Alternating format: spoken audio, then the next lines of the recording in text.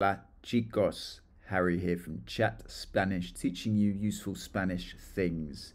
This one's more so for me actually, these three words. I always get confused between them and they're related to size, as we're going to see.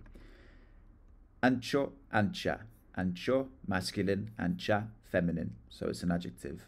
And this word means wide or broad. So, un ejemplo. El sendero es ancho. El sendero that's the word for path. El sendero es ancho. The path is wide. So ancho, ancha means wide. You could also use it as a noun, el ancho, the width.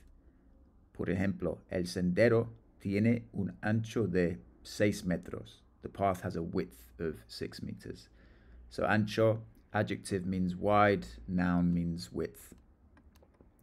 Grueso or gruesa means thick una rebanada gruesa de pizza. A thick slice of pizza. Rebanada. It's a great word, isn't it? Rebanada. That means slice. So una rebanada gruesa. Adjective here referring to the slice. De pizza. Gruesa is thick. Thick slice of pizza. And similar to ancho, ancha, grueso is a noun meaning thickness. So it can be an adjective thick or a noun thickness. And then finally, estrecho, estrecha. Now this is purely an adjective.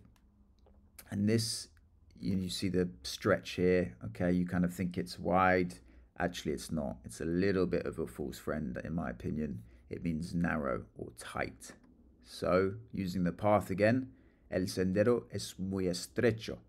The path is very narrow. It's quite a fun one to say that. So, stretch, mm, no, it's narrow. So ancho, ancha, wide, grueso, gruesa, thick, estrecho is narrow, estrecha as well, feminine form. So those three words, hope you found those useful. It's reminded me how to distinguish between them.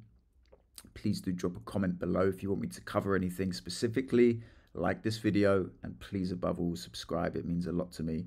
I've linked a very useful video below as well, referring to cien and ciento, which both mean 100, but there is a slight difference when you use them. So I hope you find that useful. Nos vemos, chicos. Best of luck with the Spanish. Ciao.